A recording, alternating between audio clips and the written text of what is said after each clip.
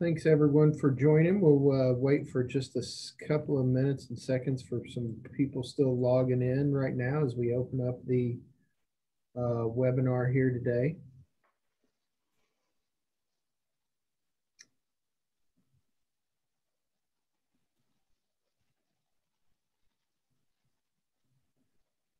I'd like to thank everyone for joining us today for our uh, new uh, edition of the Vet Chat series here at Grayson, uh, where we've uh, been chatting with researchers and veterinarians about different maladies and ailments uh, for horses. Uh, this one we're very excited to bring you today. Dr. Ben Sykes, Associate Professor in Equine Internal Medicine uh, from New South, is it Massey University now, Dr. Sykes? That's correct. Uh, is done research in this area before and actually is a uh, previous Grayson funded researcher uh, in this area with a team that did some work on omeprazole administration. Uh, this ailment uh, goes across all breeds of horses and it's equine gastric ulcer syndrome and if you have any questions, you can use the Q&A button at the bottom of the uh, Zoom software, and uh, we'll uh, take those at the end of the session. Uh, but we just like to say, Dr. Sykes, thank you so much for joining us today. Uh, we know the time difference makes it difficult for us to do these kinds of things, so thank you so much. I'll turn my camera off now and uh, let you proceed with the presentation. But again, thanks for your time and your work in this area. It's very important for all our horses. Thank you. And uh, yeah, welcome to everyone and, and thanks for coming along. So what I thought we'd talk about today is, you know, equine gastric ulcer syndrome, but really look at what we've learned in the past five years um, and, and bring some new elements in and maybe what we need to learn in the next five years and see if we can sort of cross that bridge between those two. So my affiliations, I work primarily, I'm an associate professor in equine internal medicine at Massey University in New Zealand, um, and I have adjunct positions at the University of Queensland, the University of Liverpool. Uh, I've done a range of uh, paid consultancies and speaking engagements that I list there over the years. And um, as, as Jamie said, the Grayson Jockey Club Research Foundation were uh, a major sponsor of my PhD. And so some of the work I'm going to present today uh, directly relates to that, that support. So the first thing, as we, you know, as we sort of start talking about equine gastric ulcer syndrome, is to to recognise that about five years ago we had a very clear shift in the terminology that we use for the disease, and this is still filtering through somewhat. So I think it's worth reviewing. So the initial terminology, equine gastric ulcer syndrome, has been in use since 1999 um, when we first started talking about this as a disease syndrome in the horse in a meaningful way, at least, or in at least in a, in a you know a significant way. Um, and it's important to recognise that that syndrome comes from a time back in that the late 90s, early 2000s, when the gastroscopes that we were using to look at horses' stomachs were relatively short. So we now would use a three to a three and a half meter gastroscope. Back in the day, the gastroscopes were two to two and a half meters long. And what that meant was when we went into the horse's stomach, this is pretty much what we could see. Um, and we could see really basically the squamous mucosa of the, of the horse's stomach with a little bit of glandular mucosa. But importantly, we couldn't see the very deep part of the horse's stomach, which is the pylorus or the pyloric antrum, where the stomach empties. And what that means is as we started getting bigger scopes and we started looking at the stomach more thoroughly, we recognized there's more to it than we originally thought. And so we started to see as we went down into the deeper part of the stomach, we started to see the pyloric antrum. We started to see that we recognized lesions down there as well. And the important thing about that terminology is, is that as a diagnosis in an individual horse, there's really no such thing as gastric equine gastric ulcer syndrome. We sort of talk about it as this overarching term, but when we actually talk about the specific diagnosis in a specific horse, then we're going to have something much more specific than that. So we have now what we call equine squamous gastric disease and equine glandular gastric disease. One of the challenges is, is that when you look at studies that predate the clarification of this terminology, so if we look at either uh, scientific literature or if we go to Google and we look at what we know and put get equine gastric ulcers into horses, pretty much everything we know relates to the squamous mucosa because that's what we were talking about at the time. It does make it hard sometimes as some of the early stuff did talk about glandular mucosa, and then the terms become a little bit interchangeable. But what we've started to do in the last five years is really clearly define when we're talking about this disease in the scientific literature, and when we're talking about it in terms of an individual horse, or we're talking about it in terms of um, you know, prevention and treatment, these sorts of things, we start talking very specifically about the squamous mucosa and the glandular mucosa. I always assume if it's not stated in the literature or anywhere that we're talking about squamous, um, if it's, um, as I said, if it's something we look up at Google, it's nearly always about squamous. That's really important because when we talk about uh, prevention strategies and treatment, we have to recognize that that's very biased towards the squamous disease. So we've, we've changed the terminology, and what we've looked to say is that equine gastric ulcer syndrome is an umbrella term that encompasses a wide range of different things under that, particularly equine squamous gastric disease. And this is affecting the, the, the sort of half, top half of the stomach. Um, and this is very well understood and described. And then equine glandular gastric disease is something that we, we have a lower understanding of because it's something we've only been relatively recently looking at, but it affects the bottom half of the stomach and particularly the outflow of the stomach uh, into the pylorus, the pyloric, antrum, and into the pylorus there. It's really important that we make this distinction because not only are they different in location, but the prevalences, the, the, the amount that we see in any individual population varies, and the affected populations we see varies greatly. So one group, you know, horses such as racehorses, we would traditionally consider to be at high risk of squamous gastric disease. But then when we talk about glandular gastric disease, we see much that much more in this sort of atypical squamous population. We see it in riding horses and horses with um, very different lifestyles. And the reason for that is that the risk factors that contribute to disease are different between the two diseases. And the cause of the two diseases is quite distinct as well, although we don't fully understand glandular, and we'll touch on that in a second. How we treat them is different, and their response to treatment is different, and the prevention strategies are very different too. And it's probably the last one as a horse owner that's most important because when we're conscientiously trying to prevent EGUS, we have to recognize that a lot of the time what we're actually effectively doing is trying to prevent squamous disease or in effect preventing squamous disease. And if we want to prevent glandular disease we have to add some additional additional management strategies to that as well importantly they're not related they just happen to share the same room and to me they're kind of like the odd couple of the gastric world so they happen to live side by side but they have absolutely nothing to do with each other or very very little to do with each other and what that means is we can't extrapolate things about the risk factors, things about the treatment, things about the prevention from squamous disease to glandular disease. We need to specifically talk about both entities as distinct um, from each other.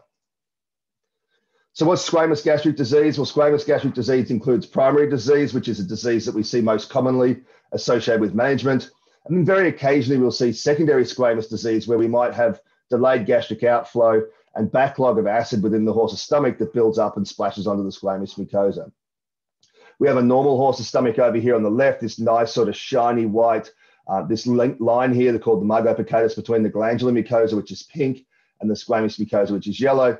And then as we start to expose that area to acid, to which it's not usually exposed to and not designed to be exposed to, we start getting uh, hyperkeratosis or thickening. And that's a little bit like the balls of your feet. If you start walking around with bare feet, uh, they're going to get thicker and rougher. That's just the natural response of skin or epithelium.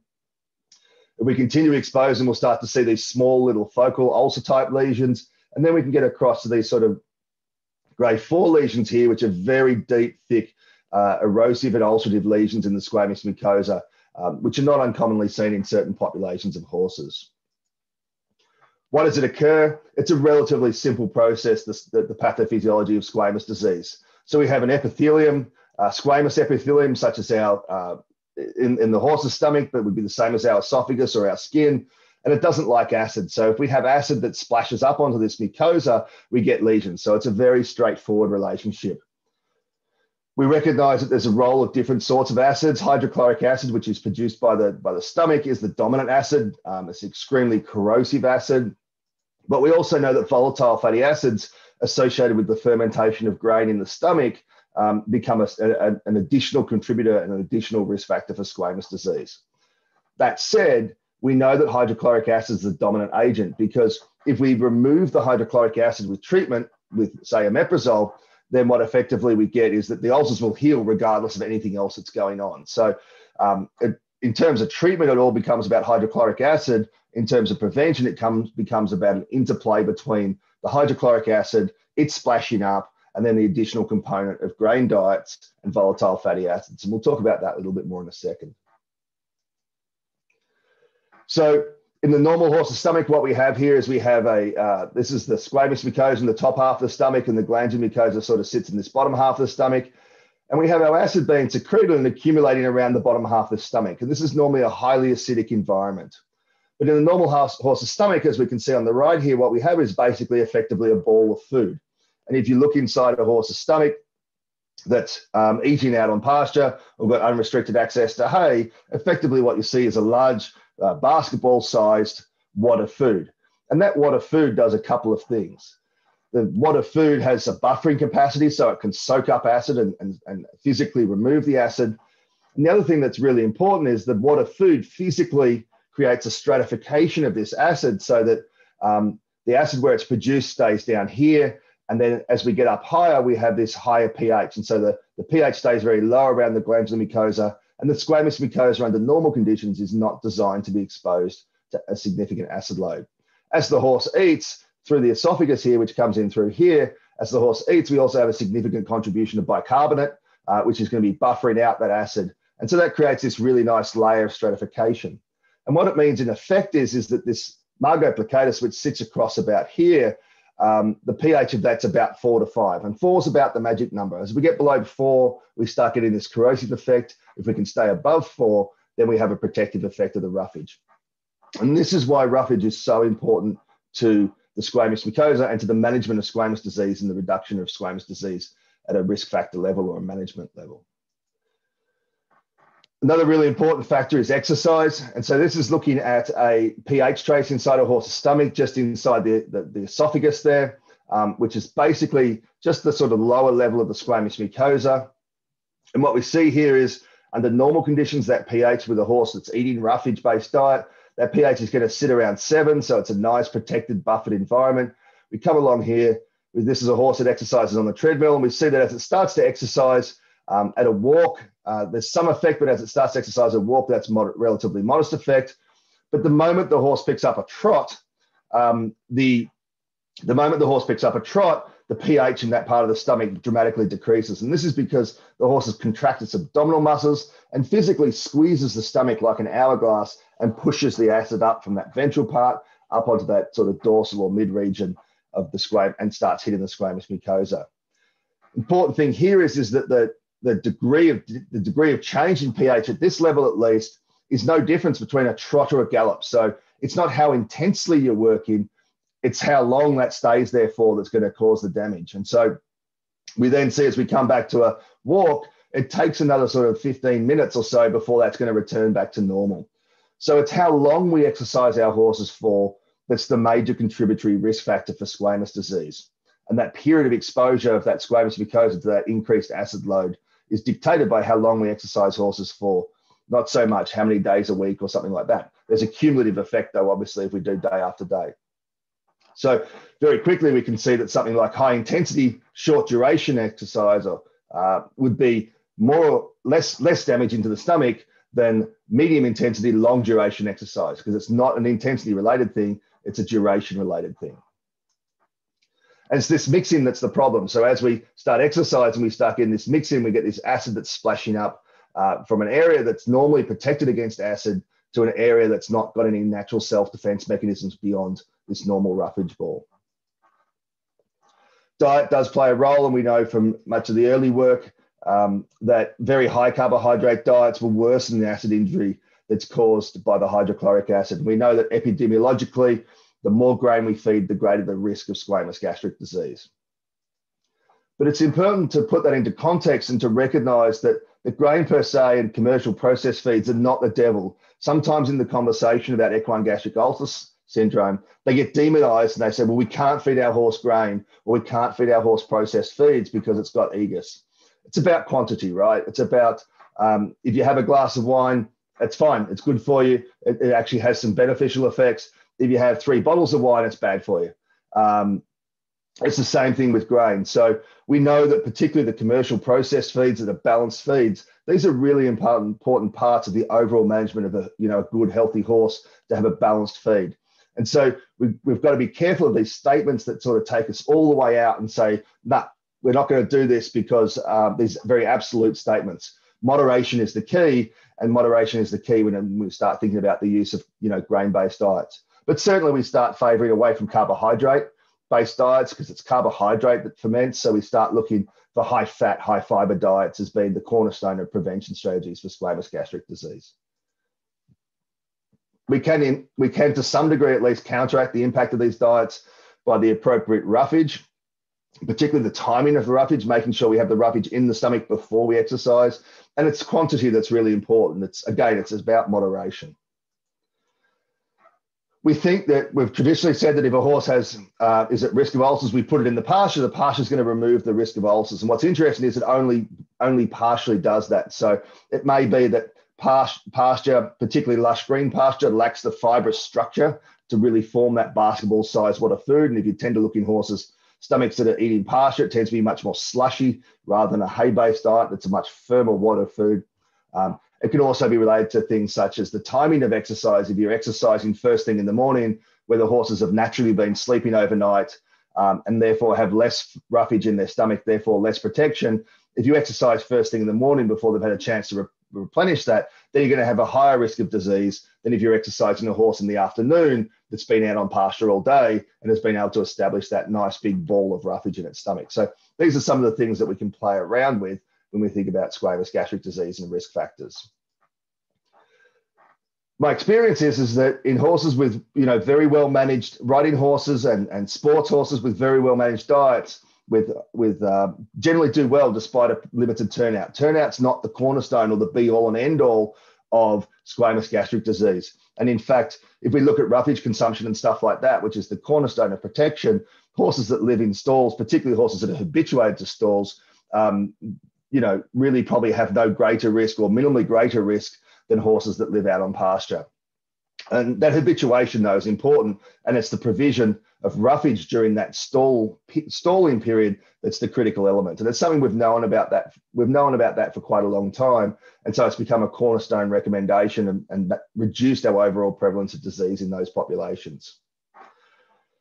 So if we think about terms of squamous gastric disease in general, it's really to me, we can talk about, you know, there's a wide range of factors. There's things like the age of sex, um, sorry, the age of the horse, the sex of the horse. There's a whole bunch of things that might contribute disease or potentially do contribute to disease, but they're relatively small factors compared to the impact of diet and exercise. So particularly or specifically diet, uh, diet in terms of the amount of roughage, so having adequate roughage and not having excessive carbohydrate, and the amount of exercise the horse does over any given period of time. And there's a relatively linear relationship between this where the risk of squamous disease increases as we increase the workload, the exercise, and the intensity of management of any given horse. Individuals will vary within that, but the general trend is the same. When we get to a point where we put enough intensity on those, then we see very high rates of squamous disease. So in horses, um, some of our racehorse populations and some of our endurance horse populations that are under very intense lifestyles in terms of work and exercise and their management, then we'd see quite high rates of squamous disease accordingly. So here's a study, just or here's, here's a range of studies, sorry, just looking at this. What we have here in the blue is the squamous gastric disease, and the red is the glandular gastric disease. And what we have here from left to right is just a range of studies. And we're really looking at horses um, from a relatively low, relaxed lifestyle, uh, endurance horses at rest, sports horses moving across to warm bloods. And then we start getting across the thoroughbred race horses and the endurance horses in, in high intensity work. And both of these groups of horses are very much, um, you know, really elite athletes and they're performing uh, a range of physiological things under, under, you know, very high, high performance levels. And what we see is it's a relatively straight relationship, as I just showed you, as we increase their intensity of lifestyle and their intensity of management, and the expectations we have on them from a, from a physiological point of view, um, we see a corresponding increase in the risk of squamous gastric disease with our blue line going up here. Uh, fluctuates a little bit depending on the population we look at, but it's a fairly consistent effect across the board. So we know a lot about squamous disease and we're relatively comfortable with that because we've been looking at it for a long time. What about glandular disease? So glandular disease is something that's um, much more, much newer to us and that we're really just starting to work our way through. It includes hyperemic, erosive, and ulcerative disease. And the reason why we use the terminology glandular gastric disease rather than glandular ulcer syndrome or glandular ulcers um, is that true ulceration is actually very rare. Most of these horses technically have um, erosive lesions, but they're not full thickness ulcers. So it's a little bit pedantic, um, but the terminology reflects that. So we have the normal pylorus of the horse, nice and pink and shining. As we go down, as we start seeing different stages of disease, we might see this sort of mottled, slightly inflamed appearance, but the mucosa on this horse will be intact. And then we start seeing small discrete lesions. We come across to the right. This would be a lesion that we very commonly see in the bottom um, of the, the pylorus in a, in a performance horse, say a warm blood riding horse or a, a sports horse of some form. And that lesion across the bottom there is going to be about the size of my finger. So it's, a, it's quite a significant lesion. You can see it's quite a significant erosion to the surface that we've got some bleeding of that lesion as well. Then on the right-hand side here, we have a very, very severe lesion, something we may see with severe phenylbutazone toxicity or something like that. Um, fortunately, we don't see too many of these ones on the right because that's that's going to physically obstruct the outflow of this horse's stomach, and that's going to be a very significant problem for that horse.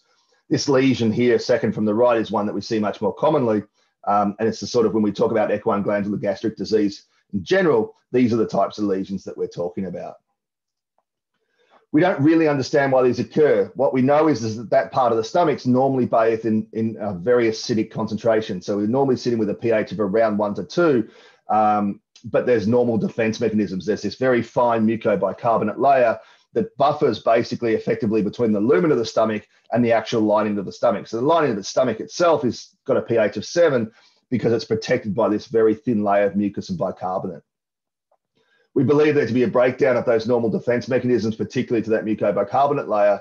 Um, it makes sense. It's what happens in peptic ulcer disease in people, but we don't really understand the factors. We know we know that it's not Helicobacter, at least to date. We've been able, unable to show Helicobacter, which is the big factor in people. Um, and we know that there's um, lots of other things that it could be, but we really haven't been able to figure it out yet in terms of uh, specifically being able to put our finger on something. So as I said, um, we've got no evidence for the role of bacteria. So it makes it very different from, from peptic ulcer disease or gastric ulcers in people where Helicobacter is a dominant cause. It's not the only cause, but it's a dominant cause, particularly in the Western world. Non-steroidal drugs such as Finadyne and bute, um, these do have the potential for toxicity in individual, individual animals, especially when we use them at higher doses. So something like using bute um, at, at 4.4 you know, two grams twice a day for seven days, we know that can induce disease. Using them much more at, at normal label doses, um, toxicity is much less common. Um, and really, the thing with, with these drugs is, is that we see very high prevalences of glandular gastric disease in some populations that don't have exposure to these drugs at all. Say horses that may be in performance or competition environments just simply don't go on these drugs because of, of restrictions and yet still have high rates of disease. So NSAIDs can be a, a, a, potential cause, but they're not explaining what we see as this general disease syndrome. The risk factors, you know, the epidemiological stuff is much less well described for, for glandular gastric disease. But what we do know is it's really inappropriate to say, well, we know these things such as diet and exercise that are really important to squamous disease. We can't apply them to glandular gastric disease because they're different. Um, and the problem with doing that is it gives us a false sense of security. We think, oh, well, we've done all the right things to prevent EGUS. And in fact, we've left glandular disease out of the conversation, and we still have a significant risk of glandular disease, particularly in the riding horse, sports horse populations. There's no effect of age, the sex of the horse, or seasonality. Um, doesn't appear to be anything related to those sorts of factors. We have no data or minimal data to say that there's any role of diet. And, and squamous gastric disease is predominantly disease of diet glandular gastric disease is not a disease of diet. And we need to move past that when we think about prevention strategies and these sorts of things. And as I said, we tend, we tend to see this more commonly in the sports and riding horse population. So they can occur in both, and both can occur in all populations. But we still generally see squamous gastric disease primarily as a disease of race and endurance, racing and endurance horses, um, these very high physiological performing, high exercising horses. Um, and we see glandular gastric disease much more commonly in the sports and riding horse population. So even horses with relatively uh, uh, sedentary lifestyles, um, we still see glandular disease. And certainly the average riding horse would be the classic horse that we see clinically relevant glandular gastric disease in, much more so than we would see squamous disease. What contributes to glandular gastric disease? So this is just a study where we looked at horses in the UK and we were looking at um, horses going through an abattoir um, that were that were feral. Excuse me one second. Um, when we're comparing feral horses and domesticated horses, and the, the domesticated is in blue and the feral's in red. On the left-hand side here, we've got the squamous gastric disease. And what we see is, is that we see an effect of domestication, right? So we have grade one, two, three, four lesions here, and we see that very few of the feral horses had squamous gastric disease, whereas we saw quite a significant number of the domesticated horses have squamous gastric disease. We also see the same effect in glandular gastric disease. So we see very few of the feral horses had glandular gastric disease, and the, the domesticated horses had a relatively high rate of glandular gastric disease. The importance of that is, is that we do recognize it. What it means is that its core, as an overarching statement, they're both diseases of management. Management does play a role. Intensive lifestyle and intensive management of these horses does play a role in increasing the risk of disease or the number of affected horses or percentage of affected horses. However, below that, the levels below that, below this overarching term of saying management, the, the specific levels or the specific factors are different um, in glandular and they are for squamous. So again, we look at this chart and we saw that the blue left to right was relatively linear. And what we see here is, is the red, which is glandular gastric disease, bounces around a lot more. There's not this relatively direct relationship between increasing exercise management intensity um, and you know glandular gastric disease risk. And we actually see uh, this is an Australian racehorse population where we see uh, both of these are actually Australian racehorse populations where we see quite high rates of glandular disease, and other racehorse populations not so high. We do see there is an effect. This is actually the same group of horses looked at different times, and we see that when we took them out of rest and put them into work, we doubled the um, we doubled the, the squamous disease risk, but we also doubled the glandular disease risk, even though the overall risk was lower. Again, increasing that intensity of management does have an effect. It's just separate sub factors within that intensity of lifestyle. So, what are they? Um, so, we talked about exercise and the quantity of exercise being really important for squamous gastric disease. This is a study looking at warm bloods out of, of Canada. Sorry, not warm bloods, show jumpers out of Canada, the majority of which would be warm bloods, or they are warm bloods, sorry.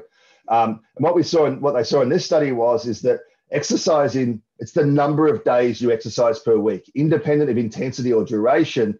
So for squamous disease, it was duration and cumulative duration risk. For glandular disease, it's the number of days you exercise per week. And so in this study, they saw that horses that were exercising six or seven days per week had three and a half times the risk of glandular gastric disease than horses that were exercising five days a week or less, regardless of the intensity or the duration of the exercise.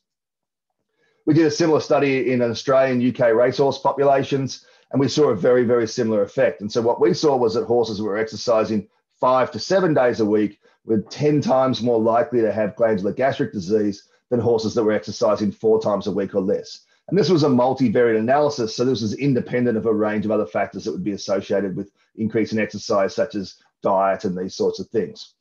And so what it appears to be is, is that increasing the number of days of exercise per week increases the risk of glandular gastric disease.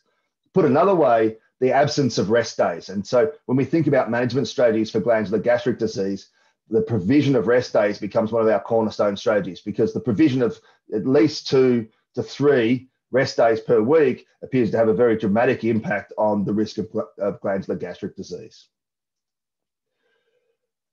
We talked briefly about drugs like phenylbutazone, um, and flunixin, Finadyne, um, and this is just simply a study that looks at that and says um, on the left-hand side here, they've got squamous disease. The right-hand side, they've got glandular disease, and they're looking at firocoxib and phenylbutazone. Phenylbutazone is kind of the classic benchmark drug. Firocoxib's a newer generation drug what they're seeing is, is that we can induce both squamous disease, um, which is probably primarily a topical toxic effect, and we can induce glandular disease um, in both these populations with relatively short durations of drug. And so this is something we probably have learned in the last five years, which traditionally we would have said five years ago, we were saying, well, we don't really see non-steroidal toxicity at the doses we use the drugs like normal. Uh, we see them when we overdose the drugs. What we're seeing here is, is that we do see toxicity with both phenylbutazone and firocoxib, but to a lesser degree with firocoxib when we use them over that sort of standard 10 day treatment period. Even as little as seven days, we recognize that these horses will develop lesions. A lot of these lesions are mild and self limiting. Um, once we stop the drug, they go away. We're going to talk about that in a second because we're going to talk about what role maybe uh, we need to do to prevent these or whether we whether we should even be doing that because Um, traditionally, we've put these horses on a omeprazole to prevent their risk of disease while they're on non-steroidals, but that may actually not be a smart thing to do. So what about stress? So squamous gastric disease, there's minimal evidence, you know, stressy horses get ulcers or stressy people get ulcers. Um, there's actually minimal evidence to support the role of stress in squamous gastric disease. It's not a stress-related disease, not in this sort of uh, mindset idea. It's more of a physiological stressor or the lifestyle uh, intensity of lifestyle stressor. But the behavioral stress is not really a, a factor in squamous gastric disease. But we have a growing body of evidence that stress is a central factor in glandular gastric disease, which is the glandular gastric disease is much more like peptic ulcer disease in people, whereas squamous gastric disease is similar to, to reflux esophagitis and these sorts of things in people. So we do have a growing body of evidence that stress plays an important role in the glandular gastric disease of the horse. So the question is, what is stress? You know, do horses study for exams? Are they worried about their appearance? Uh, you know, what's the definition of stress for a horse? And we've already looked at, at exercising and exercising frequently. That may be a form of, of, stress for the horse. There may also be things to do with blood supply and those sorts of things that are affected by, by frequent exercising, whereas rest days provided provide some protection. So this study here of Switzerland, and what they're looking at is um, they're looking at the response of horses to ACTH. So ACTH uh, is, is, we give it to horses, it stimulates the release of cortisone, which is the stress hormone. Um, and we're looking at horses here with glandular gastric disease and horses without glandular gastric disease. What I see here is the horses in the white. These are horses without glandular gastric disease. What you see here is when they do this exactly the same test to horses with glandular gastric disease, you get an exaggerated response. Um, you get a greater release of cortisol, and these horses are more stress primed.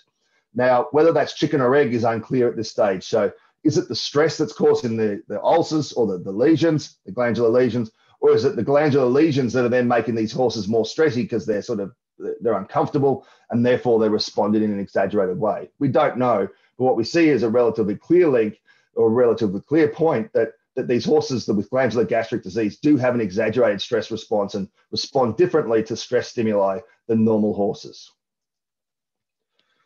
Uh, one of the other really big risk factors is being a warm blood. The, the you know being a warm blooded a warm blood horse. Um, the breed, not the not you know not the warm blood cold blood. Um, but being a warm blood horse, you know if you're a warm blood horse in this study in, in the Finnish population and really what they're looking at in Finland are warm blood horses, standard bred horses, and um, these Finnish cold blood horses.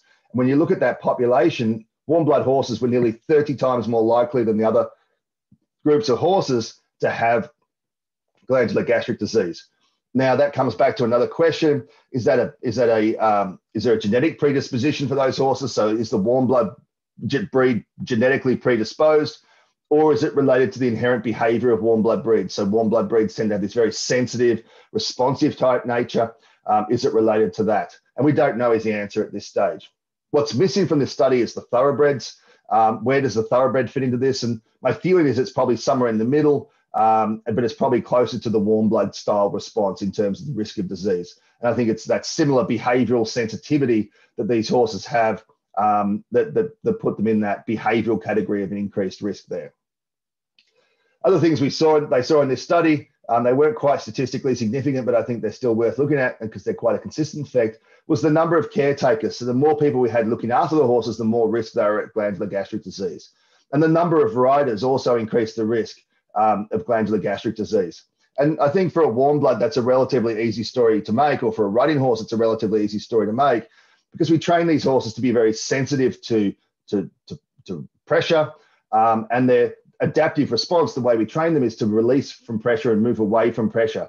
And if we change the rider, we're asking this horse to interpret a different set of signals. Someone's pressing the button slightly differently.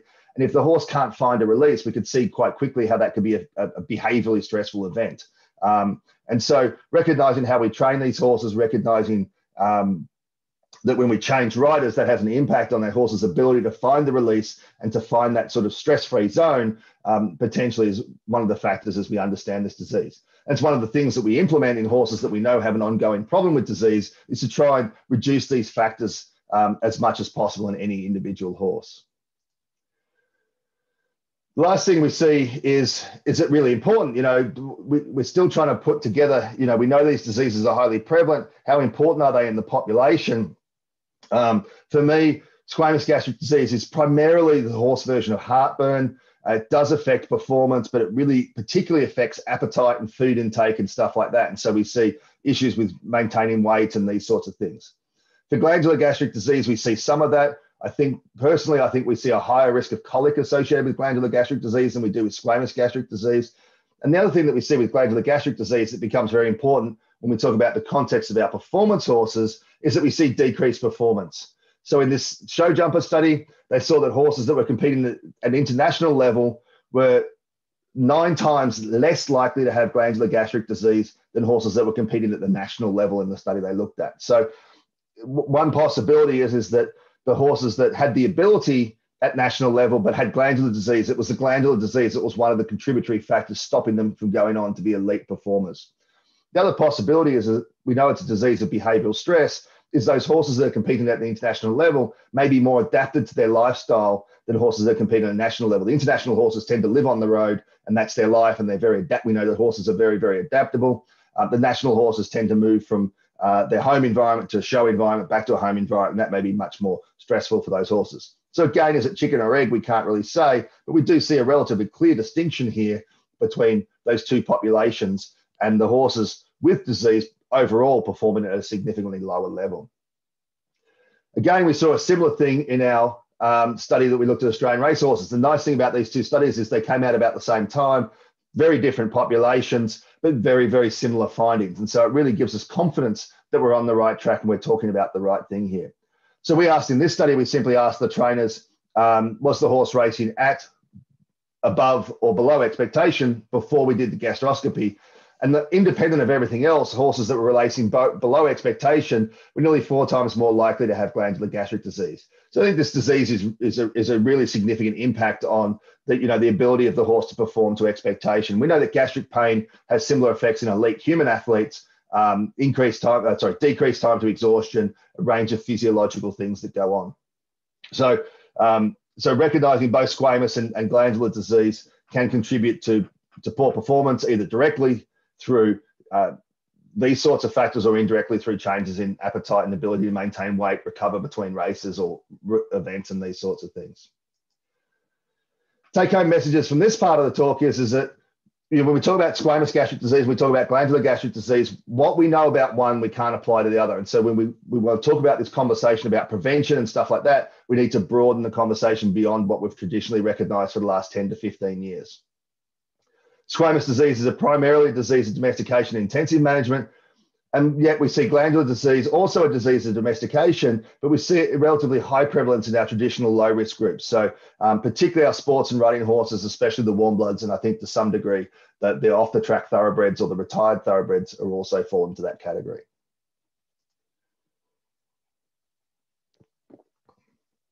Glandular disease is not a disease of diet. So we can reduce the carbohydrate, increase the roughage, which is a very important management strategy for squamous disease, but it's not going to change the difference to glandular disease. We need to do things like make sure we've got rest days, reduce behavioral stress, these sorts of factors to reduce the risk of glandular disease. So what else have we learned in the last five years? That, you know, that sort of gives us a context. Um, this is some work that I did. This is my PhD work, uh, which was sponsored by the Grayson Jockey Club Research Foundation very generously. And we were looking at omeprazole, and by this time, omeprazole had been used in the horse for sort of nearly 15 years. Uh, uh, it's one of the most widely used drugs in the horses.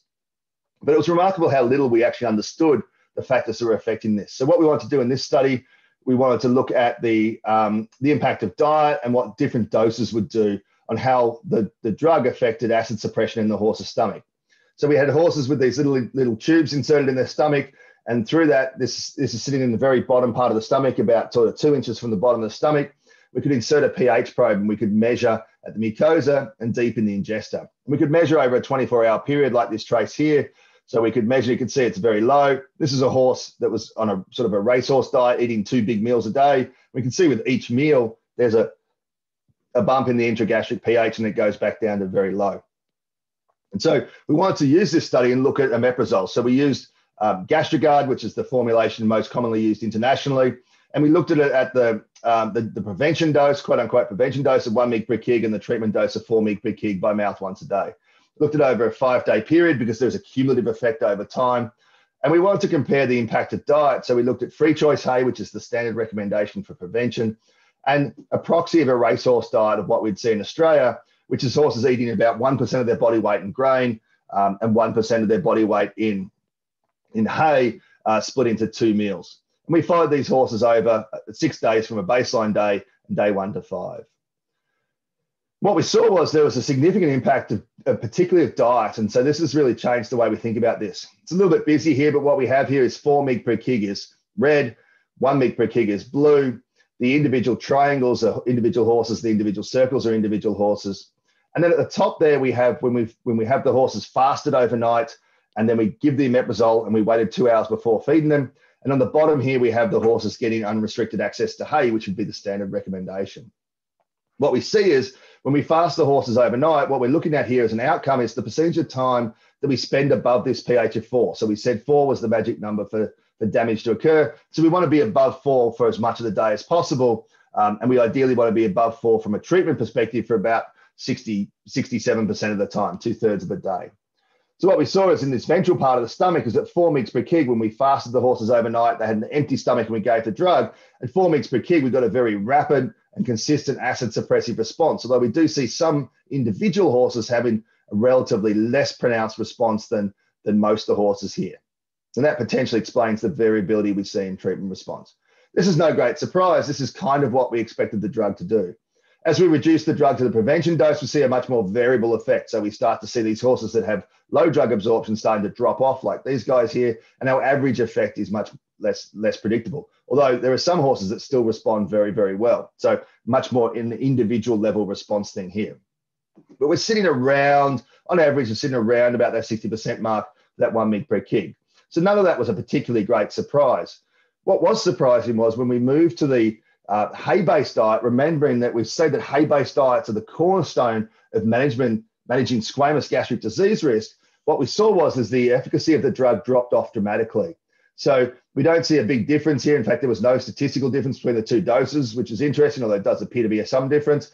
But what we see really importantly is, is that the average effect is well below our threshold, our healing threshold. And so um, we're down around the 40% mark. We have individual horses that still respond well, but then we have some individual horses that show minimal, if any, response. And that's really important because for years we've said what you need to do is to reduce the risk of squamous disease is give ad libitum hay, and then we're going to treat the disease at the same time. And what this shows is that we can't do that. Um, we reduce the availability of the drug or the absorption of the drug by uh, sort of 50 to 65% when we do that. And that has a really significant impact on the amount of acid suppression that we're, we're able to achieve, particularly in the bottom part of the stomach when we talk about glandular disease. So what that's meant is, is that we fundamentally change the way we, we, we manage these horses. And so when we're going through the treatment phase, we somewhat counterintuitively, we starve these horses overnight from 10 o'clock onwards. We make sure they've got an empty stomach. We give the drug. We wait around about 60 minutes, anywhere from 30 to 60 minutes. We then feed the horse and we then provide it with its roughage during the day. And then we repeat the cycle overnight. And that's dramatically, that, that has a really big impact on the amount of acid suppression we can get with the drug. And, and for this drug, it's as simple as the more acid suppression, the better. And so it shifts us from this relatively modest unpredictable response to this very good, very, very predictable response when we make that management change. And that's been a big shift in, in the last five years about how we use the drug um, in terms of treating horses around the world. And that's been something, as I said, that was you know very generously supported by Grayson. What else have we learned? Well, we've started to look at other treatments. We've recognized that these glandular gastric disease doesn't heal the same way as, same way as squamous gastric disease. Squamous gastric disease with the omeprazole therapy, we generally get 70 to 80% response rates in the first month, which is really pretty good. Um, we still have some non-responders and we need to think about those in a different way. But what we recognized quite early on was glandular gastric disease wasn't healing the same way. And that's why I um, started doing research. I was a, a I am an equine clinician. My clinics are sort of my day-to-day thing. But there was this fundamental problem that we were treating these horses and their glandular disease wasn't resolving. And that's where I set off down on my research path trying to solve this problem. And we, we've made some progress. So we've started to look at other drugs like misoprostol um, instead of omeprazole. Um, traditionally, we combine omeprazole with sucralfate for glandular gastric disease. And in this particular study, they showed that misoprostol was better than an omeprazole sucralfate combination. And so um, they had both treatments were able to improve the horses, but when they went to healing, um, they saw that um, the omeprazole sucralfate, so grey is healed, uh, black is unhealed. uh, was in, was not as good as the misoprostol. And so misoprostol has become, based on this study, has become widely used um, as a frontline treatment for glandular gastric disease. Omeprazole primarily still for squamous gastric disease, misoprostol for glandular gastric disease. Although we still use omeprazole sucralfate, and now we've got better at using omeprazole um, because of these changes in diet. And important to recognize that in this study, they didn't have those changes in diet because it sort of preceded that knowledge. Um, so the omeprazole was a little bit hampered in its ability to do its job because we still have omeprazole sucralfate and misoprostol. The key message here is we're treating them differently. We recognize that they respond differently, so we recognize that we need to treat them differently. What else have we done? Well, we started to move forward. So this is some follow on. This is some of my postdoc work um, after, after my PhD work. And so what we started doing was looking at new formulations. We recognized that the oral formulation worked well under certain conditions, but when we started putting things like, you know, horses on pasture or giving them unrestricted access to hay, which is something that we really want to do for them for management reasons, not just for their stomach, for their entire gut health, and also for behavioral and welfare reasons, uh, we started recognizing the drug didn't work as well as it should. So we started looking at new formulations, and this is a particular formulation not currently commercially available in the US um, but is, is, is on the way. Um, and we're looking at um, a long acting injectable formulation. So basically, a once a week injection of uh, a 20 ml dose of, of this omeprazole formulation and what sort of impact it had. And we used the same horses from my PhD that were, were part of that original Grayson study. And so what we did was we had a single dose, um, so about two grams, um, which is, is uh, still a relatively modest dose of omeprazole overall, but because we're giving it systemically, uh, we're going to get a much greater uptake of the drug. We looked just at the free choice hay diet because we know that this is the diet that, that struggles the most. And we followed these horses over a seven day period. And what we saw was is we got very rapid acid suppression, very pronounced acid suppression for four days, and then we start getting a little bit of variable acid suppression over that five to seven day period.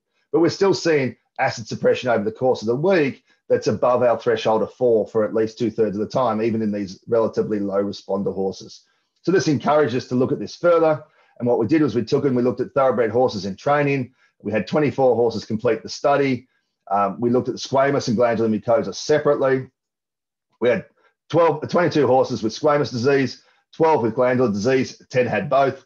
Um, and then we gave them two doses of this injectable omeprazole on day zero and day seven. And we checked them again in two weeks. Most of the horses at 14 days, one horse at 16 days because of its racing schedule. Uh, it was very well tolerated, which is always encouraging when you start using a new formulation. And even more encouraging was that what we saw was we saw a very, very strong response rate. So what we saw was once we got this very marked acid suppression, we had 100% squamous healing. And this is very good compared to sort of our traditional benchmark of this 70 to 85% mark using the oral formulation. When we look at glandular gastric disease, again, we had a very good response. Over that two week period, we had a 75%, relatively small number of horses, but we had 75% of these horses that, um, that responded and healed. And that compares with some studies I've done in that population with oral omeprazole, where we were only getting around about 25% healing over a four week period.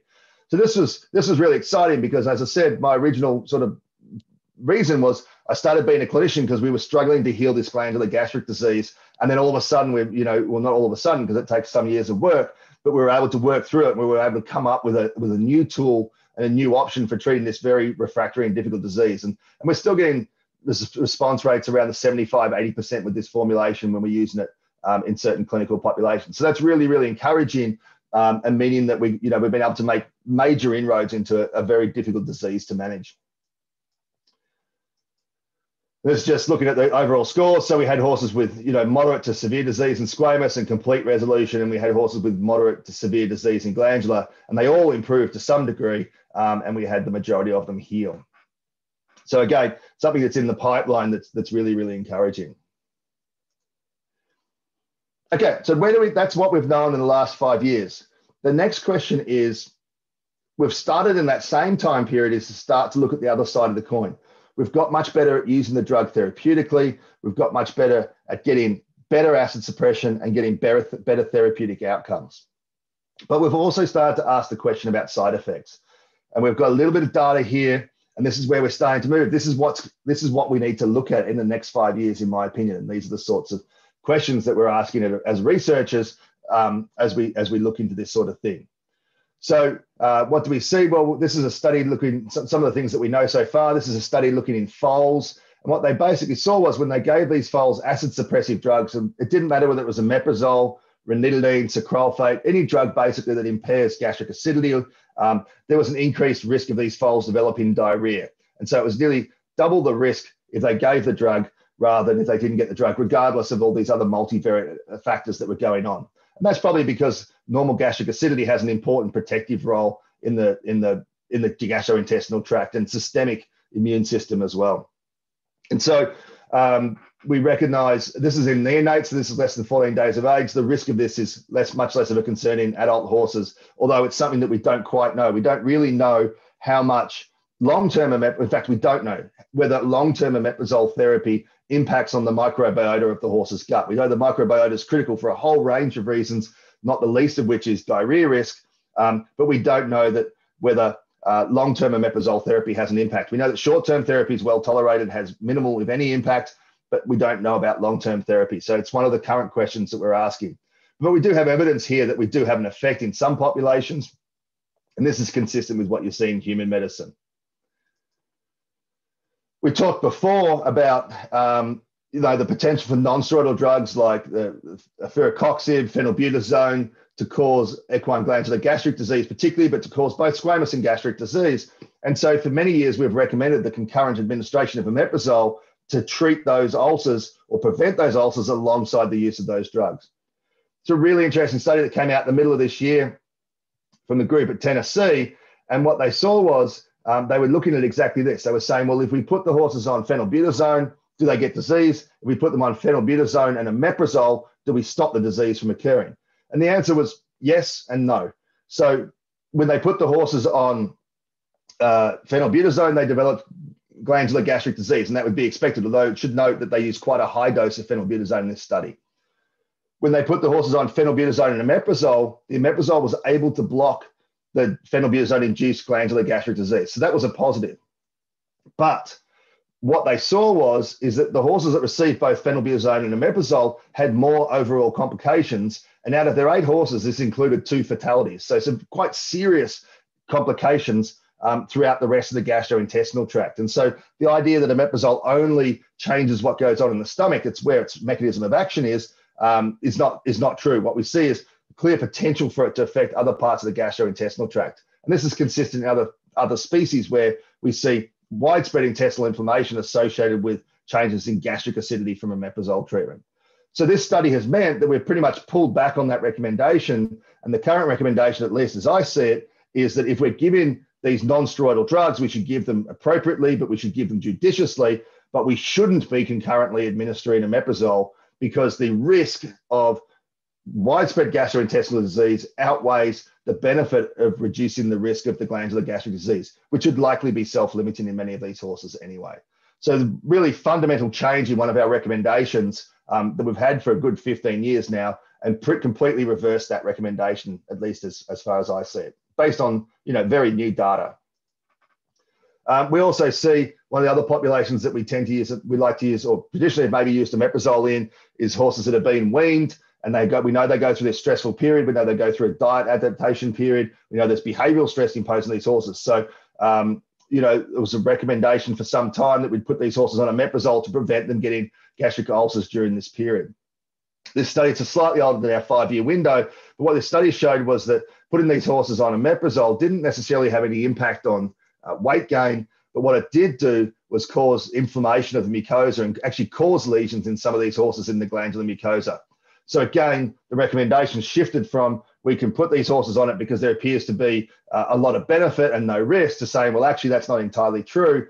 We still recognize these drugs have clear benefit therapeutically, but when we start thinking about prevention strategies and these sorts of things, we become much less confident that the risk benefits in favor of using the drug because we start to see these unrecognized risks before. So again, I, I personally don't recommend the use of omeprazole in weaning horses, in weanling horses that are otherwise healthy if the horse develops clinical signs of, of, equine gastric ulcer syndrome, then I go ahead and treat that horse. It's really important to say it's not we use the drug or don't use the drug. It's our therapy, it's our point at which we we pull the trigger and we decide that it's going to get more benefit than risk. But if we're just sort of this, this nebulous background use, I don't think is something is something that we've really started to move away from. Other things that happen over time, um, what we have relatively limited data on is the long-term use of omeprazole. So we've got quite good data of using omeprazole, oral omeprazole over that sort of 28-day period, 28 to 35-day period. But we've got relatively limited data on using the drug over a long-term period. And there's only uh, three studies that I know of that looked at this, uh, four studies, sorry, uh, that have looked at this, and basically all have shown that as we change to prevention doses, we get a drop off in therapeutic response. This one's the, the, the most significant. Um, so what we're looking at here is horses in the omeprazole group. Um, and if they're looking at um, uh, treatment response improvement, uh, about 43% of the horses, which is a relatively low number to start with. Um, so there are some concerns over sort of the overall structure um, of, of, this data, but but it is consistent with things we see elsewhere. And by 30 days and 60 days, that's a relatively consistent effect. And then by 90 days, it starts dropping off. So between 60 and 90 days, our effect appears to start dropping off. And we've seen that in other studies where we've dropped the dose from this treatment dose back to prevention dose. We see about 20% of horses develop new lesions when we do that. So um, we can't just drop from the treatment dose, to prevention dose, and assume that we're getting, you know, an overall good response. And that's recognizing our initial response might be in the 70 to 80% range, and then we drop down 20% from that. We're in that 50 to 70% range. So all of a sudden we're at horses, you know, that a little bit over half to, to two thirds of them are responding, meaning that a third to a half of them uh, are suboptimally responding with those changes in dose, but also with the long term duration. Why is this the case? Well, we need to look at this further, but there's one study that sort of supports this. And what they're looking at here is the pharmacokinetics of the drug. And it's the area under the curve. It's this area here that's the determinant of omeprazole efficacy. What you can see here, same omeprazole, same horses, same dose. On day one, had a much greater area under the curve than on day 29. It's about a 50% reduction in area under the curve. And we know this drug's metabolized by the liver, and then that metabolism's upregulatable. So what we're probably seeing is over time is upregulation of drug metabolism and decreased efficacy over time. What we don't know is what happens when we take these horses out to two months or three months. And what we don't know is how long this effect lasts for. So that's the sort of questions we're asking in the next five years. Other things that go on, um, in humans coming when you come off omeprazole therapy, one of the things that happens is you suppress the gastric acidity, is you get this buildup of stimulus for acid production because uh, the body says, well, we're not making acid, we need to make more, so it makes more gastrin. Gastrin's the key stimulus for gastric acid production. And so when you come off omeprazole, it's quite common in humans, about 20 to 40% of people coming off these drugs get rebound gastric hyperacidity, which in humans is manifested as very severe heartburn. Um, uh, and so we, we haven't really recognized this horse still relatively recently. Again, another study from this year.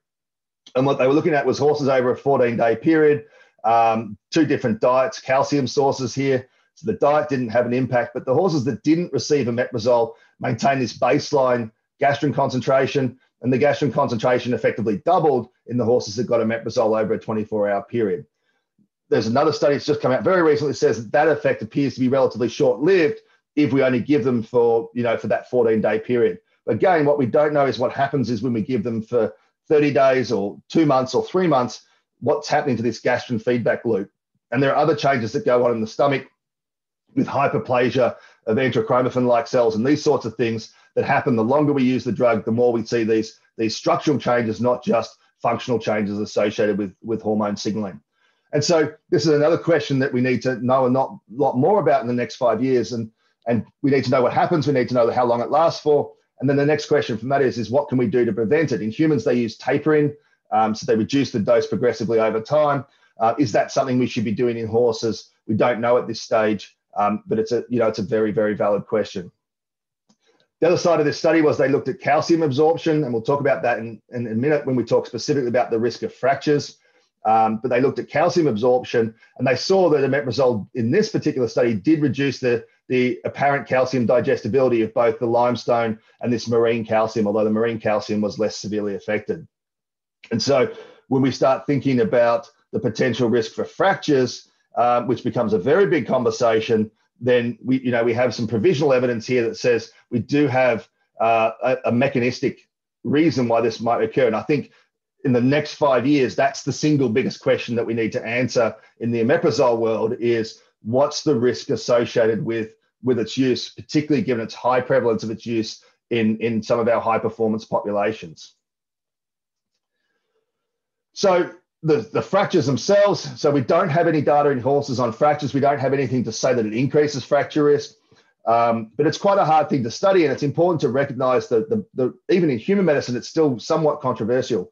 Traditionally, in human medicine, we've said it's been geriatrics, um, and we'll talk about that in a second. Geriatrics on long term treatment. So we've got geriatric patients with pre existing bone disease like osteoporosis, um, and then we have them on long term treatment. We deplete their vitamin B12 reservoirs from their liver, and then they get an increased risk of fractures in the last few years, though, we've started to shift that feeling. Again, this is a July 2019 study, and this some of this was triggered by a conversation between myself and Grayson Jockey Club, and something that we're really, really keen to look at from a research perspective.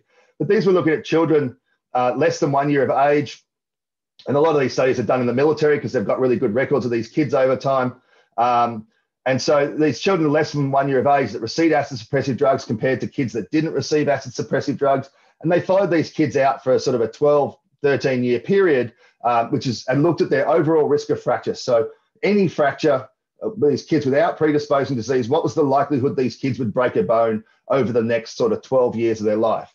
And what they saw was it was there was a clear impact of either the use of PPIs or the PPIs and the H2 receptor antagonists, um, so ranitidine, these sorts of drugs, um, an increase in fracture risk. And when you use them together, they were even worse. And they saw this with treatment doses of less than 30 days. So, very short duration treatment had a very pronounced effect on long term fracture risk. The increased fracture risk was about 13%. And that's irrelevant because if we think about this in terms of horses, if we're looking at a population of horses for a drug that we widely use, we'd say, well, surely we would have recognized this by now. And the answer is not necessarily because an increased fracture risk of you know 10 to 20% when we think about the background factors, there's a range of things that contribute to fracture risk. Increasing that by 20% would be significant, or even by 10% would be significant, but we wouldn't necessarily be able to put our finger on the specific factor because we know there's a whole bunch of other things like track surfaces and training, possibly bisphosphonates, these sorts of things that play contributory roles. It's also important to think about not just terms of catastrophic fractures in terms of you know these which which have very big impact um, on the on the on our sport or, and the welfare of animals in our sport, but also on other diseases of bone remodeling. So diseases like shin soreness, third carpal bone disease, these sorts of things, uh, POD lesions in the in the in the in the cannon bones. These are the sorts of lesions that we associate with maladaptive bone remodeling. Um, and they're, they're, they're, in many ways, they're the same core processes that are going on to cause these catastrophic fractures. So it's not just necessarily the catastrophic fractures that we may be contributing to the risk of, it may be these maladaptive disease processes as well. And that contributes really, those diseases have a major role both in the cost of racing, but also in wastage in the sport. And, and wastage in the sport is a, is a really significant um, social license issue as well that, that we all need to sort of understand and address. So this data from humans says that you know there's potentially of concern here, and what it certainly has done is made you know, made us start to think even more about not using these drugs in foals, moving away from using these drugs in foals when their skeletons are really young and really developing. What happens as they get a little bit older, which may be more applicable to our horse in racing population. So this is a, another study, um, about five years old now, this study, and it was looking at young adults from four years of age through to 18 years of age, uh, or, or adolescents, sorry, and then young adults from 18 to 29 years of age. So very much by about 30 years of age in humans, your, your skeletons form. So very much the young horse to, to mature racehorse population that we talk about um, in, in, in our world. And so what we saw here was um, it varied a little bit in the statistical analysis and, and whether it was present in the univariate or multivariate, but we saw a relatively consistent effect here. And again, the relatively the relative risk was increased by about you know 20 to 40 percent in these horses. When they corrected for it, it came back down to around about that 13 percent mark in this adolescent population. So we're seeing quite enough, and this is again followed these kids out over um, you know a minimum of a five year period. So it's not the immediate risk; it's, there is a cumulative risk, and the risk increases over time. Sorry, I just um, the risk increases over time. So the more often we give these drugs, the higher the risk we see here. Um, the more we give them over time, uh, to some degree, there's an increase of risk, although it's not as obvious. It appears to be a little bit more. So even short duration treatment may be associated with a significant and prolonged increased risk of disease. So I think, as I said, in the next five years, this is this is probably the biggest question we need to try and answer from a research point of view. We should not forget that these drugs are very useful for the treatment of a really important disease in our in our population. But equally, we shouldn't be blind to the potential for side effects, and we need to balance that risk and that benefit. And to do that, we need to have a deep understanding of both sides of the coin. We've got a pretty good understanding of the therapeutic benefit of these drugs. We now are in a position where we need to start to develop a much deeper understanding of the potential risks of using these drugs. Uh, how is this potentially, just to finish up, how does this potentially, you know, play to bone disease? Um, so these are the mechanisms that are proposed in people. It's not fully understood in people, but we talked about vitamin B12 absorption, and this is the traditional approach in, in sort of geriatric people. We, we have a lot of vitamin B12 in our liver, so and horses make vitamin B12 in their hindgut. So we really shouldn't have this as a major issue in the horse. Although the hindgut in some of our horses, because of hindgut disease, which is a story for another day, um, may not be functioning normal, may not be making as much vitamin B12 as it should. But we're, we're less worried about that. What we do have from that study I showed you earlier, that provisional study, is that we do have preliminary evidence that we cause. In fact, we've now got two studies that show an increase in gastrin. And what increased gastrin does is increase histamine and it stimulates the osteoclast. And the osteoclast are the, the cells that eat bone as part of the bone turnover. So we get increased bone resorption more than we have bone formation. We have an increased fracture risk.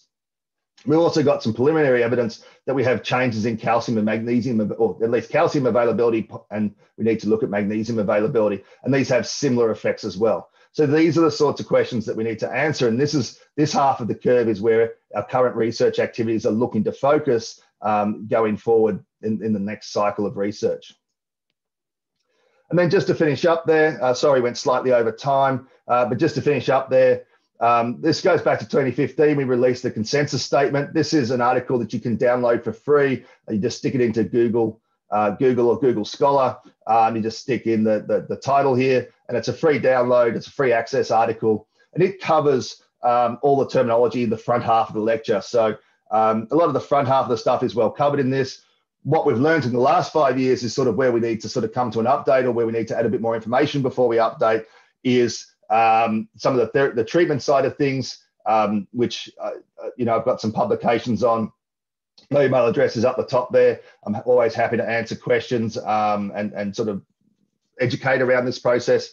Um, and then as we learn more, we're going to continue to sort of we're going to continue to sort of publish and, and get the information out there and continue to try and have these conversations. So with that, I'd like to thank you for the time. Um, I would like to take the opportunity to thank the Grayson Jockey Club Research Foundation again. Um, all of my research wouldn't have happened without their support. Um, it was it's put me personally in a position to to you know have these conversations and to you know take an education role uh, and something I've been enormously appreciative of. And I'm happy to answer any questions. Uh, ben, thanks so much for your time this morning. I know that uh, it's not easy. Uh, do, I know you have a lot of commitments, and uh, we appreciate you doing this for us. Uh, if you have any questions, uh, just uh, use the software at the bottom of the page. You can hit Q and A, uh, and I have a few questions that have already been submitted. If some they have some others, we'll take them. Not in any particular order, I don't think, but just how they come. And the first one is, do you find horses that have had colic surgery are generally more predisposed to EGUS? So um, it's a, it's a the link between EGUS and colic is a is a good question. Um, we have some early work that shows a link between squamous disease and the horse having a history of colic. Um, you know, having had colic recently. Um, we don't have that evidence for glandular disease yet, but I think that um, I think that my clinical impression is there is a significant link, particularly in that warm blood population. I worked in in Europe working with warm bloods, I, I, think that was one of the real contributors to, to colic risk that we see. I think when we talk about colic, we need to separate, when we talk about surgical colic, we need to separate uh, structural lesions. So we have old horses that get lipomas and these sorts of things. And they're sort of a, uh, a random event, for want of a better term. It's a numbers game. And then we have a lot of the lesions we see, particularly in those big warm blood horses, um, the big thoroughbreds, we see a lot of large colon lesions. And so we'll see and I think it's a full spectrum. I think we need to separate surgical colic. Well, actually, not separate surgical colic. We need to think about colic in terms of anything that affects the hindgut of the horse. So it could be a gas colic, it could be a spasmodic colic, it could be an impaction colic, could be a displacement, could be a nephrosplenic, it could be a torsion, sort of on a continuum from sort of mild to severe. They're all fundamentally diseases of changed gastrointestinal function, changed gastrointestinal motility, and typically excess gas production. So anything that affects the hindgut, such as diet um, and roughage and grain, really, really important in the risk of those diseases.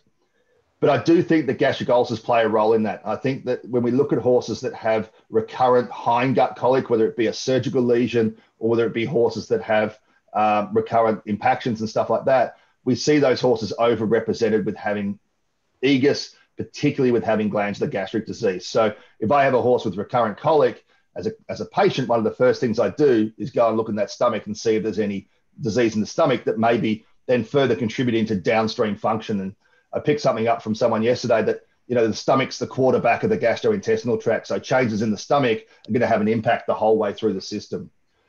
So it's not necessarily the surgery that causes the problem. It's what caused the problem in the first place um, that probably carries through. Um, and it carries through more than just those surgical colic lesions. Gotcha. Um, so here's another one about, and this is roughage is so important to horses, and many of the horses are hay dunkers. Um, does dunking the hay in the water help them easily or digest it, or does it have any effect on the stomach? And kind of related as we've seen a new trend of hay steamers in some of the performance horse barns. Can you talk about water, hay, and dust suppression, and dunking the hay and steaming the hay is related to EGUS and gastric and gastric issues? Yeah, we don't know. I think is is the short answer. Um, I think we separate a soaking hay. So when we're talking about horses with metabolic problems, mm-hmm. and we're mm-hmm. soaking the hay, the reason we're soaking the hay is to reduce the non-structural carbohydrate, the sugar load of the hay, and that's going to have an indirect benefit on gastric ulcer risk, squamous gastric disease risk, because uh, the less sugar we have in the stomach, the less fermentation and production of volatile fatty acids we get. Is it a real real change? Probably not, because those horses are probably already eating a relatively low amount of sugar that it's not a major problem compared to the horses that we feed a ton of sweet feed or something to stuff that we don't tend to do anymore because because of what we've learned over the years. Um, steaming hay, uh, dunking hay probably doesn't have a direct effect. What has a really big effect on squamous disease risk is the amount of time you spend grazing and the number of chews you have per mouthful. The more you chew, the more saliva you make. The more saliva you make, the more that goes into your stomach, the more buffering you get, and the more protection you get from squamous gastric disease. So, one of the benefits of hay over, say, grain is that horses spend a lot longer eating hay and they chew a lot more per mouthful for hay than they do for um, than they do for grain. So um, it's this saliva load that's really important. Whether steaming hay or whether dunking hay changes their eating behavior, I don't know. I don't think we've specifically looked at. Uh, if anything, I think they may probably eat a little bit slower and a little bit more deliberately with that with that type of hay, uh, which would actually be a benefit for for squamous disease.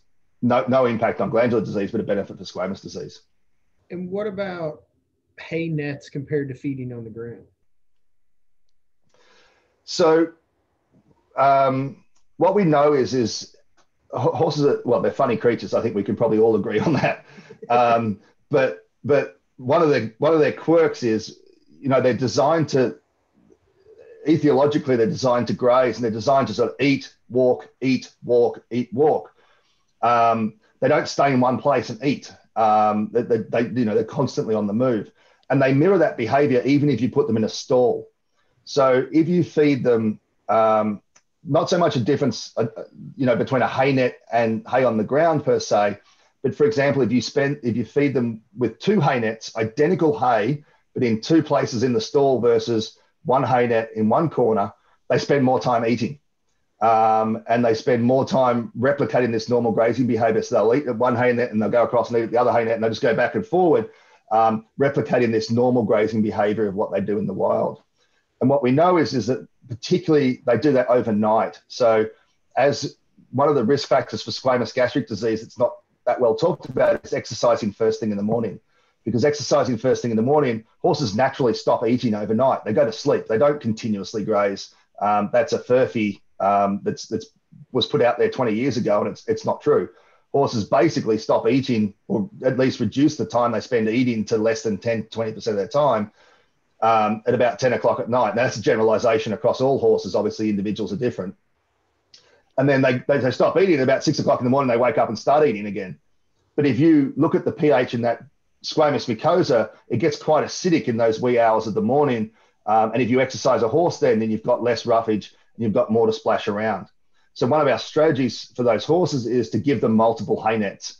And so that the horses are spending more time grazing and that reduces the amount of um, acid that accumulates in the stomach overnight. There's more buffering effectively. We then can look at other hay nets like slow feeders and things like that. Um, and they would be beneficial for squamous disease risk because again, it goes back to the longer the horse spends eating, the more saliva it produces, the greater squamous disease risk. As long as it's not overtly behaviorally stressful for the horse and potentially increasing glandular disease risk. So that's where you start separating them and, and sometimes playing one against the other depending on the individual horse. Although I don't think that some horses, yeah, I don't think that, that those slow feeders are overly stressful for horses. I think they adapt to them quite quickly once they realize they can get what they want out of them. It just takes them a bit longer. Mm-hmm. And two more questions, unless we get some other ones. Um, and I think you may address this, but I'm not sure. There has not been any studies looking at the long-term effect or the interaction with omeprazole and NSAID administration, correct? So no, there's really only that one study that we that I showed there towards the end, and that was really over seven to 14 days. Originally, it was a 14 day study, and they actually truncated it back to seven days as they went through their sort of cycles because of the side effects they were seeing.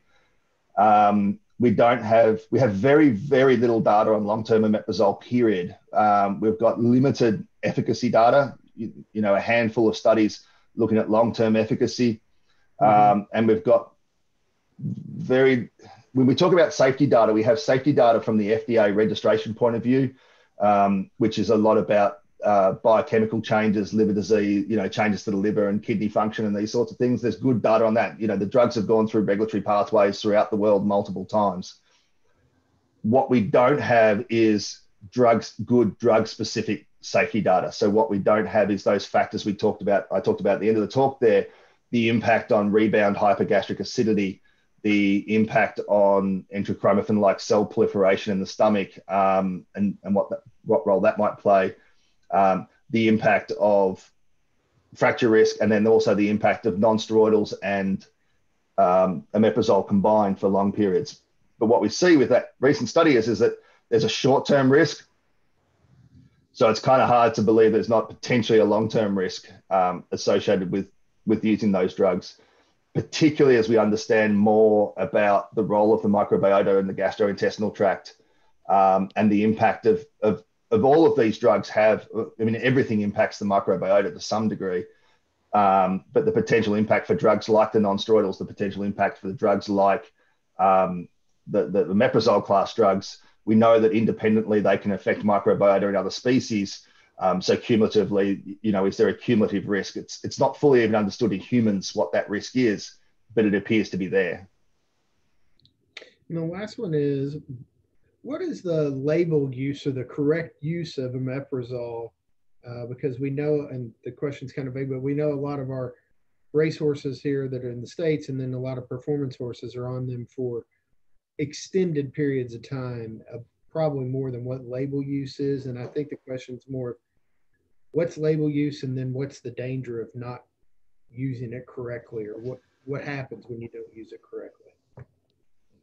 Yeah, so the, I mean, the, the, the treatment dose is 28 days, and then um, at least that's the most that's the most common one when we talk about internationally. Um, Australia's a bit of an exception because we have a range of omeprazole products on the market. Um, the and then the prevention, and that's at four mg per kg, and then the prevention comes down to one mg per kg for ongoing maintenance. Um, I think it is important when we start talking about the potential side effects. It's important to always come back and say these are drugs with clear benefit in in many horses and in many of our populations. What we need to do though is balance that up against you know the potential for risk, um, and we need to understand more about risk before we can say that in a meaningful way. So it's important not to walk away and say, well, we're going to stop using them because they might do bad things," and forget the fact that they do do good things as well, and they do lots of good things.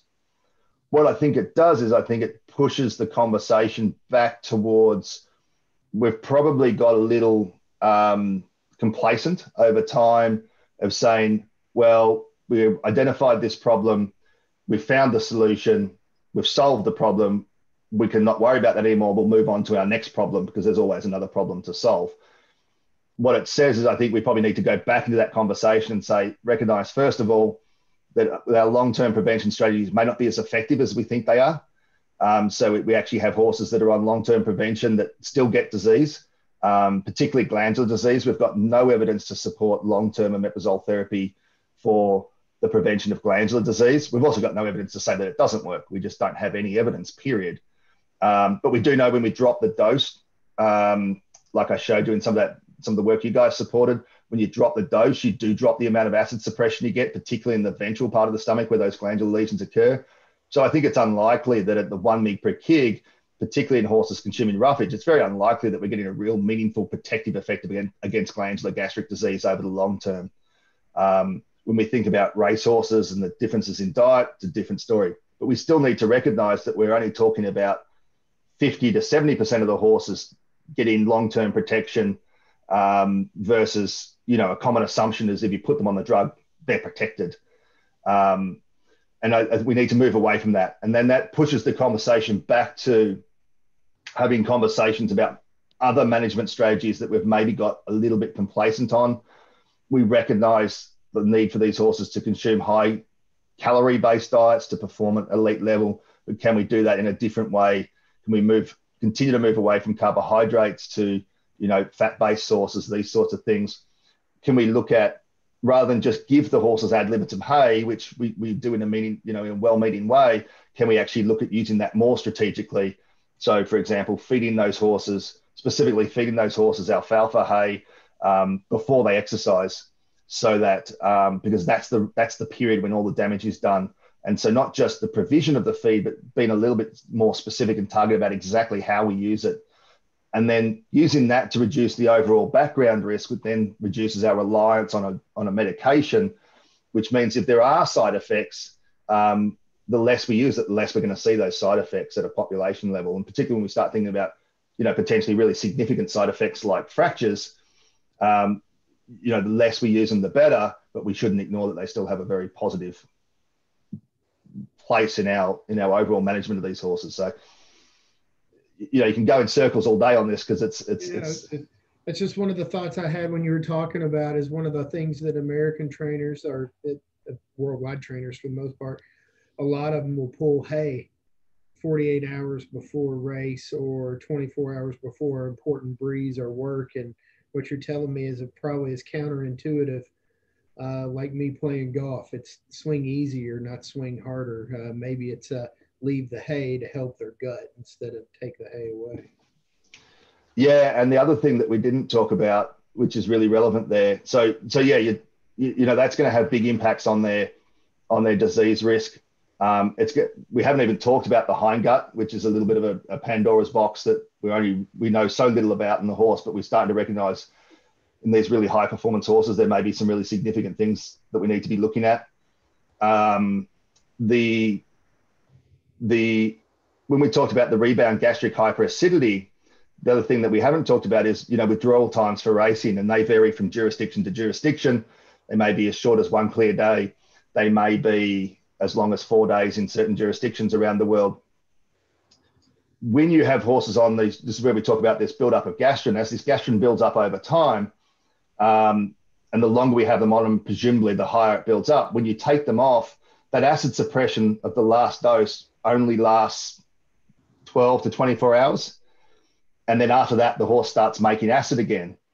If you've had a buildup of gastric of gastrin, it makes more acid than it normally would. I mean, horses are already pretty good at making acid, and now they've got an even bigger drive and they make even more acid.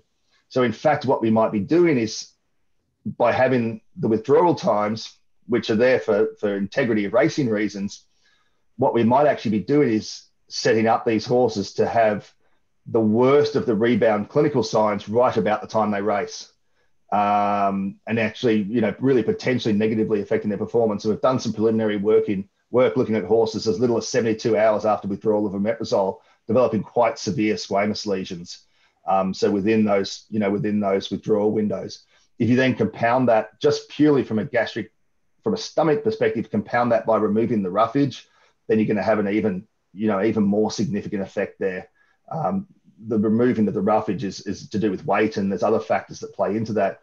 But if we think just from the stomach's point of view, um, it's almost the worst thing we could do to the stomach would be stop the drug, use the drug for a while, stop the drug, and then withdraw the, the natural protective mechanisms as well. That's really going to set us up for a really pronounced rebound event, and and may well set us up for impaired performance um, because because we know that in people that get this, it's a really unpleasant experience. You know, very very severe heartburn. Um, even at mild levels, though, in human elite human athletes that get heartburn, it impacts their performance not just because it's uncomfortable, um, but but it has physiological impacts on their performance. And so, we may be inadvertently setting them up to perform worse by trying to make them perform better in the first place. Yeah, I would imagine running 35 miles an hour with bad heartburn is pretty tough, even if you have four legs. So, yeah. Well, yeah, we underestimate how tough they are, I think. Yeah, it, uh, they are a magnificent creature. Uh, that's for sure. From uh, the way they run, their mechanisms for running, to processing food, to the volume of blood that pumps through their veins when they're at high speed. Uh, to the to the length they can carry individuals and and uh, mm. help us all move across the world. So uh, I don't see any other questions. This has been great. Uh, thank you so much for your time. Uh, I think it's this evening for you, is it? Uh, so um, uh, again, thank you so much. Your research has been very valuable for not only performance horses for but for my horse in the backyard. that has a little bit of problem as well with this and some of our staff. So we're very appreciative of uh, your work and the time that you've had today. And thanks again so much, Ben. Yeah, no, thank you. Thank you for the people watching and, and to the Grayson Jockey Club. The, the, the support's been invaluable and allow us to answer these questions and to, to everyone who donates and, and contributes to that. It's really greatly appreciated from the from the coalface. Well, good. We'll post it to YouTube and I'll let everybody know when it's up. Thanks again, Ben. Have a good evening. No.